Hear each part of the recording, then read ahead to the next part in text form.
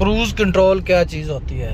तो आज इसके बारे में हम बात करेंगे और हम आपको लाइव दिखाएँगे कि गाड़ी का क्रूज़ कंट्रोल किस तरह इस्तेमाल किया जाता है। हमारे पास गाड़ी है जी ट्यूटा रिवो 2021 मॉडल तो इसमें ये वाली जो चीज़ है, इसको आप क्रूज़ कंट्रोल बोल सकते हैं, या बोलते हैं। तो इसको लगाने का तरीका भी क्या है कि इसको तकरीबन 60 की स्पीड में जाते हुए आपने पीछे से इस बटन को प्रेस कर देना, ये देखें।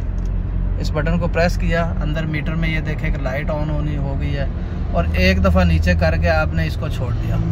तो ये देखे, अब खुद ब खुद गाड़ी चलना शुरू हो गई है, बल्कि चल रही है।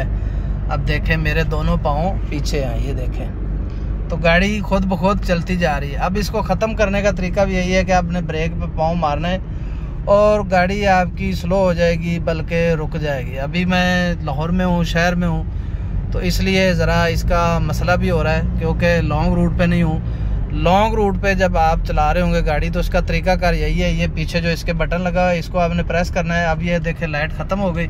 मैं इसको दोबारा ये देखे। इसको प्रेस किया मीटर में एक लाइट शो हो गई। और शो होने के बाद जब आपकी गाड़ी की स्पीड तकरीबन 40 प्लस होगी, ये ज़रा देखें आप। 40 प्लस होगी तो आपने इसी को एक पॉइंट नीचे करना है। और फिर ऊपर उठा देना है। अब ये आपकी स्पीड को बढ़ाता जाएगा। ये देखें, पाँव मैंने पीछे कर लिए हैं ये देख लें आप। मेरे पाँव पीछे हैं और गाड़ी देखें, एक ही जगह पे स्टेबल होगी और चलती जा रही। इसी तरह इसको ख़त्म करने के लिए अपने पाँव अपने पाँव को ब्रेक के ऊपर एक दफ़ा पुश करना है। या इसको आपने पीछे से एक दफ़ा आपने पुश कर देना है, ऐसे। तो ये ख़त्म हो जाएगा।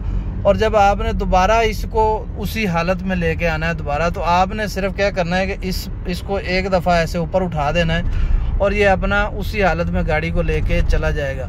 तो ये इतना सा काम होता है इस क्रूज़ कंट्रोल का। ये लॉन्ग रूट पे हम इस्तेमाल करते हैं और ये बेहतरीन लाइव डेमो था। आप, उम्मीद है आपको इस चीज़ की समझ आ गई होगी और आपको चलाने में, लगाने में भी आसानी होगी।